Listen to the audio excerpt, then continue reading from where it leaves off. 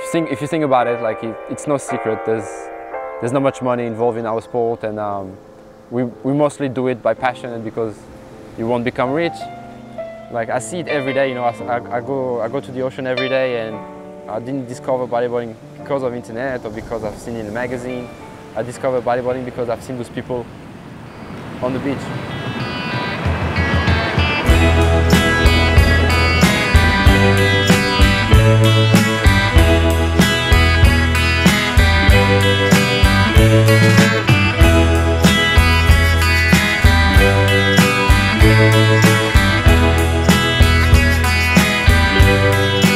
Música